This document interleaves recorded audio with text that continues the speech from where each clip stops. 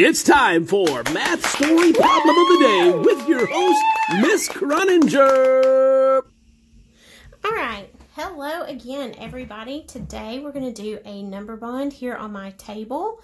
I have um, drawn out a number bond for us to use and I will give you a story problem today and we're going to solve it together on this number bond. You can do this with me at home. Um, it's pretty easy to draw. Just trace some circles. I used a cup from my kitchen and trace the circle. Make sure you have one circle that has two lines attached to the other two circles. This is our whole circle and these two circles are for the parts. So I will give you a story problem. We're going to do a couple of these in this video. So here's our first story. Let's see here. I like to use the kids in our class. So let's do, um, let's start with Adelie. Adelie has four sunflowers. Her friend, Gabby, has five sunflowers. How many sunflowers are there all together?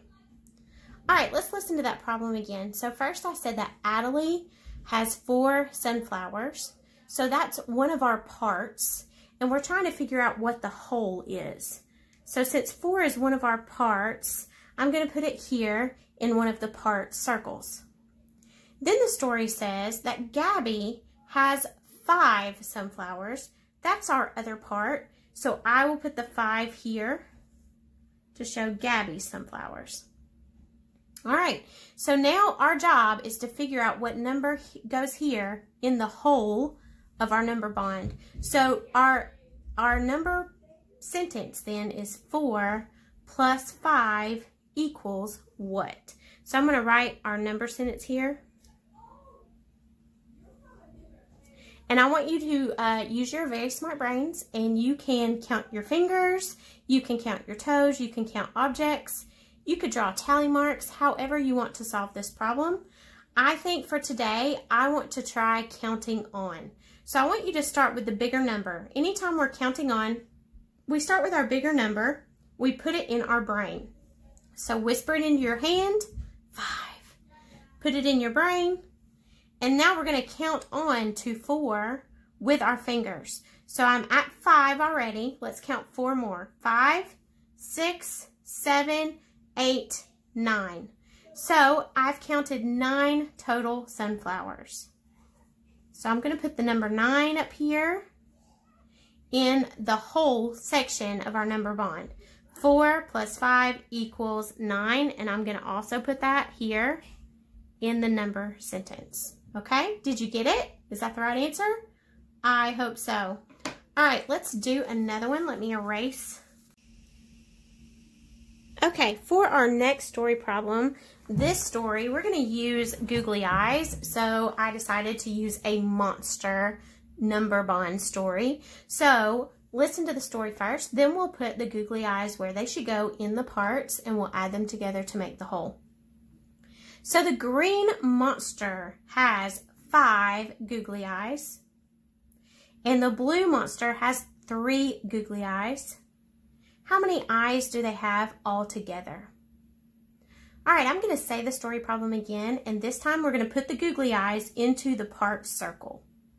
So the first monster I said had five googly eyes. So let's count five eyes. One, two, three, four, and five. And the other monster had three googly eyes. So let's count three. One, two, three eyes. And these eyes are just extras, so I'm going to move them out of the way. All right, so here we have five plus three, and we need to figure out how many we have all together. Now, when you're using objects, like I'm using the googly eyes, you could use blocks or any kind of toy, really, small toys you could do. You could just move them all to the whole and then count them all together. That's one way to do it. Or you could keep them in the parts and count them in the parts. But for this one, let's count now and see how many we have all together. One, two, three, four, five, six, seven, eight all together.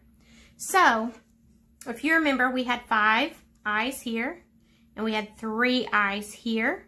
And when we make this a number sentence, we could say 3 plus 5, or we could also say 5 plus 3, because remember, it's the same either way.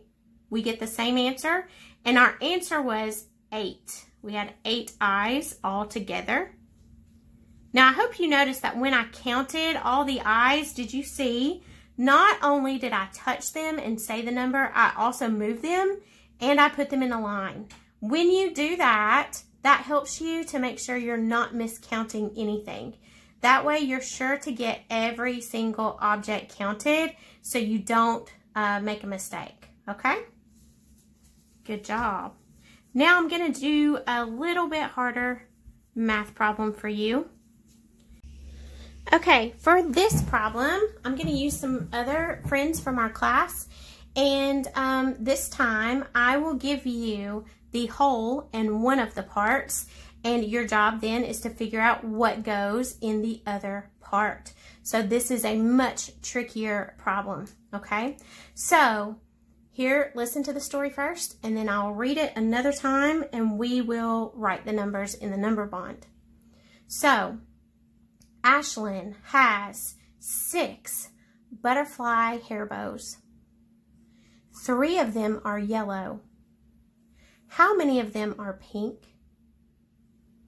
All right, listen again, and we're going to write the numbers where they go. So first I told you that Ashlyn has six butterfly hair bows. That means she has six all together. That is the whole amount that she has. So I'm going to write that in the whole circle there. She has six total butterfly hair bows. Three of them are yellow. So I'm going to write a three in this part because we know that that's one of our parts. Three are yellow. Now we have to figure out how many more do we need to make six? Three plus something equals six. And if we go ahead and write our number sentence, it would look like this. 3 plus something because we don't know what that is yet. I'm going to leave a blank spot there because we've got to figure that out still. Okay? So, you could do this problem in different ways that I've shown you at school. You could use subtraction instead of addition. We did addition here. But if I wanted to subtract, I could say that 6 minus 3 equals, and that will give me the answer for the other part, I'm sorry, my marker is dying. Let me grab another marker. Okay, so we could use subtraction to solve this problem, okay? We could also count on to solve this problem. So just like we counted on in the last problem, I'm going to count on in this one. So we're going to start with the number 3, and we're going to see how many we need to count to get to 6. And we're going to use our fingers to do that. So I want you to take that number three, put it in your head, three. Okay, now I'm going to keep counting on my fingers from three, four, five, six. So how many fingers do I have up?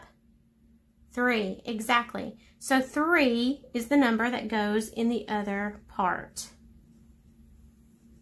This is a brand new marker. I haven't used it before. Okay. So now we know that 3 plus 3 equals 6. And if we need to check ourselves, we can always use our fingers. I can do three fingers and three fingers on each hand. And let's count them. One, two, three, four, five, six. So that's the correct answer. We have 6 total. So 3 plus 3 equals 6. Okay? If we had done subtraction, I want to show you how we do that. So I'm going to take that 3 away. You already know the answer. It's not a big deal. But I do want you to understand how you can get the answer from subtraction. So if she has three butterfly hair bows, we could draw pictures or use tally marks or use dots. Today I want to draw dots. So I'm going to draw six dots. There's one, two, three, four, five, six.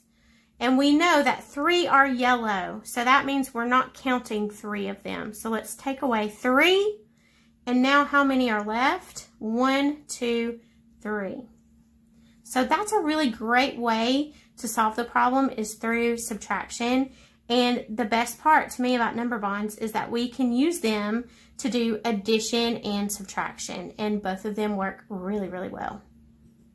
Okay, that's it for today, kiddos. I will see you next time. Bye.